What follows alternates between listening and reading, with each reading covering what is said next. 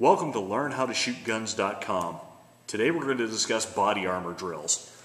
Uh, what a body armor drill is, it's, it's something you practice in shooting in case you encounter an opponent who's wearing body armor. Usually what you do is you, you punch out, you take two shots, you take your double tap. In this instance, you shot this guy twice in the chest and it shows no effect at all. So you realize, okay, mentally, something's, something's different here. This guy has to be wearing body armor. So you go for your two shots to his chest, you raise it up and go one to his head.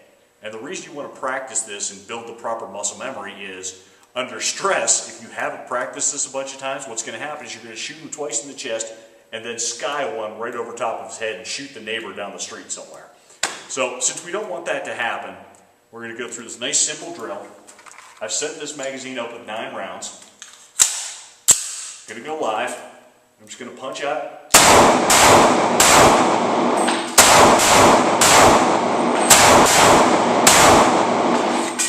I'm going to walk up.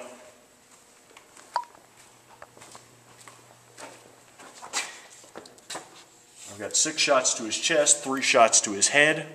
It's a successful drill. Now, go home, go to your local range, go try this a few times until it becomes natural for you. And until next time, enjoy shooting.